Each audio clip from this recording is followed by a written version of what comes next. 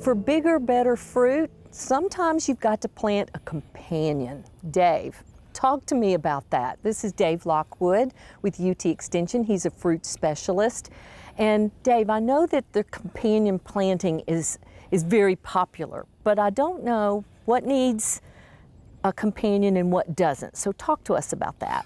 Okay. Yeah, for the most part, uh, you should consider that all apple trees, all pear trees, some sweet cherries, some plums, muscadine grapes, rabbit-eye blueberries need to have two or more varieties so that you get cross-pollination. Uh, if, you, if you have just one variety, the crop is going to be a lot smaller or, and much less uh, size and poorer quality. So cross-pollination assures that we're going to have bigger fruit and more fruit uh, on each of those. So instead of having one apple tree, it's better to have two different varieties of apples. A minimum of two.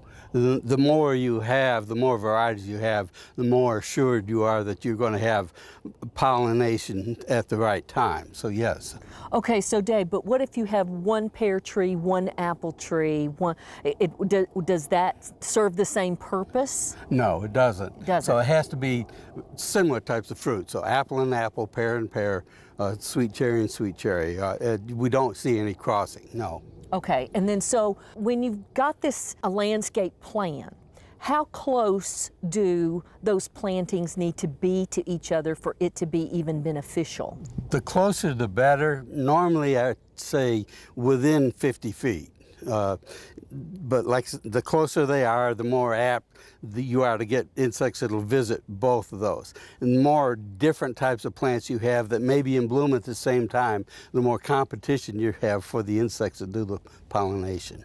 And, and we're talking about uh, bees for pollination and wind, you said affects that? Right. Uh, in most of our fruits, those with the showy blooms are insect pollinated, and honeybees are by far the biggest one uh, that we have. Bumblebees will work, other types of bees, some flies will work, but honeybees are the primary uh, insect that transmits pollen or transfers pollen among different fruit crops. So, so Dave, in fruit crops, um, when you're looking at different varieties, what do you need to look for in selecting that? Because some grow better in different areas than other. I know about the zone, but really what do you need to look for for Tennessee?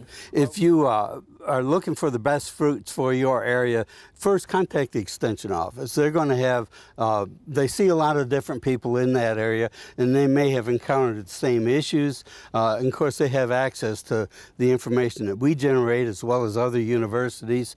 Uh, a reputable nursery will have that information in their catalogs so that if you're growing a, a, certain type of apple, it's important that you have an apple tree that, that will bloom at the same time. Not all of them do. Right. And also that apple tree has to have viable pollen. There are a few sterile pollen varieties out there that won't work.